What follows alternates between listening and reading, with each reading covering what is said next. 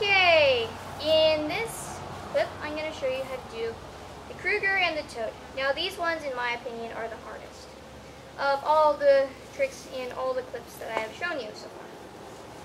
Now, here is the Kruger.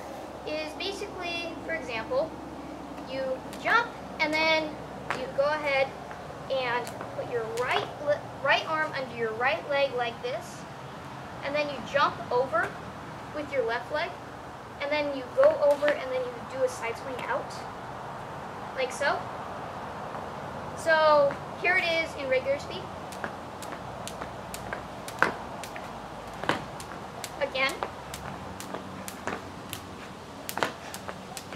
Etc. Now for the toad, it's basically a, a Kruger that has a cross in it.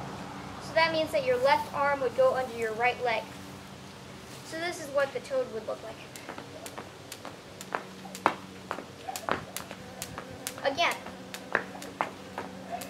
Etc.